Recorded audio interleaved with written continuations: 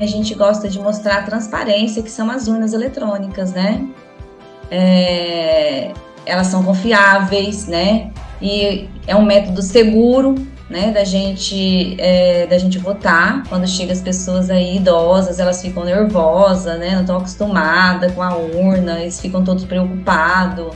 Então a gente tem que tentar acalmar um pouquinho eles, né? Fazer com que eles sentem, que eles respirem um pouquinho, até eles iniciarem o processo de votação. Fazer parte disso, né? Ainda mais nos tempos de hoje, aí é muito importante, né? E a gente vê que tudo isso é confiável, que não existe nada que impeça, né, o eleitor de ir às urnas e votar para quem ele deseja, para quem ele quer.